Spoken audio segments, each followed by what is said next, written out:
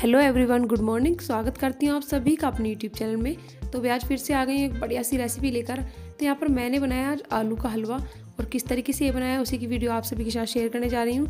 तो आप इसको व्रत में भी बना सकते हैं, या फिर कभी आपका मीठे का मन हो तो पाँच से सात मिनट में तैयार हो जाता है। बहुत ही आसानी से बन जाता है तो आप तब भी इसे बना सकते हैं। खाने में बहुत टेस्टी लगता है। तो ये देखिए, इसमें बहुत ज़्यादा चीज़ों की भी ज़रूरत नहीं पड़ती है। जो घर में आपकी चीज़ें हैं उन चीज़ों से ये बन जाता है। तो चलिए मैं दिखा देती हूँ किस तरीके से बनाया तो यहाँ पर मैंने ले लिए उबले हुए आलू, तीन से चार आलू लिए उबले हुए। इनको हम घिस लेंगे इस तरीके से। आप चाहें तो मैसर की हेल्प से भी मैस कर सकते हैं।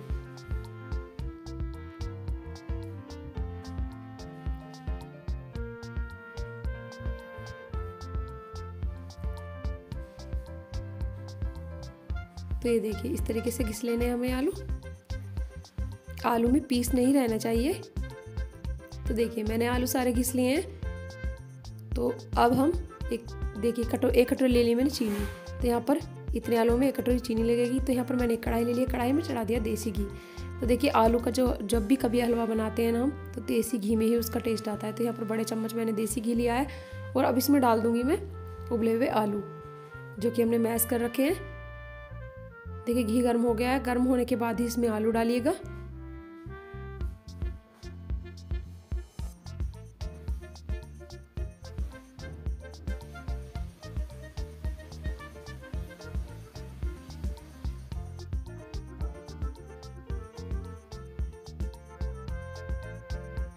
तो आलू डालने के बाद अच्छे से मिक्स करिए घी में और इसको भून लीजिए। तो हमें आलू जब तक भूनने हैं, जब तक कि एक तो इनका कलर हल्का सा गोल्डन हो जाएगा और दूसरा ये है ना, कढ़ाई छोड़ने लगेंगे। ये आलू अब आपको दिख रहे हैं कि ये बिल्कुल बिखरे बिखरे से हो रहे हैं। जब ये आलू बिल्कुल एक डोसा हो जाएगा ना तैयार, तब तक हमें इसे भूनना है। तो ये आलू को भूनने में टाइम लगता है। कम से कम 10 से 12 मिनट में ये भूनते हैं। तो बिल्कुल धीमी धीमी आँच पर इन्हें भून लीजिए बढ़िया से। तो ये देखिए आलू हमारे भुनने के बाद इस तरीके से इकट्ठे होने लग जाएँगे। आपको दिख रहा होगा, अब इसका एक डोसा बन गया है। ये सारे आलू हमारे इकट्ठे हो गए और कढ़ाई भी छोड़ने लगे हैं। ये देखिए।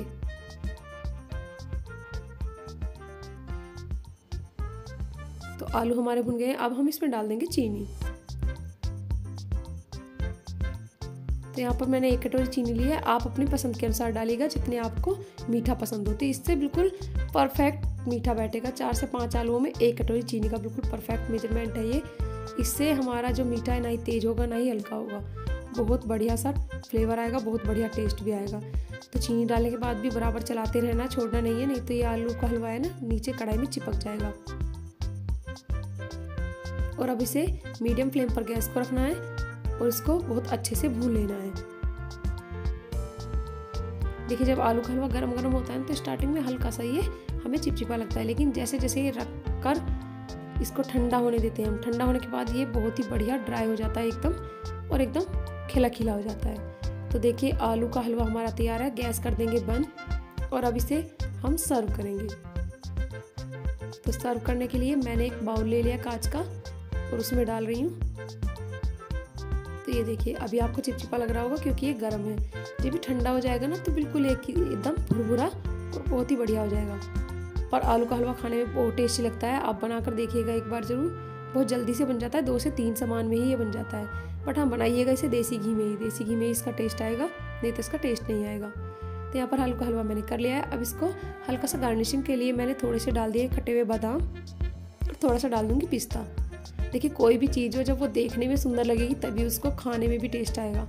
क्योंकि कोई भी चीज़ देखने में पहले अट्रैक्टिव लगनी चाहिए और खाने में उसको टेस्ट करने का भी मन हमारा तभी करेगा। तो यहाँ पर देखिए, कितना अट्रैक्टिव लग रहा है ना हमारा हलवा।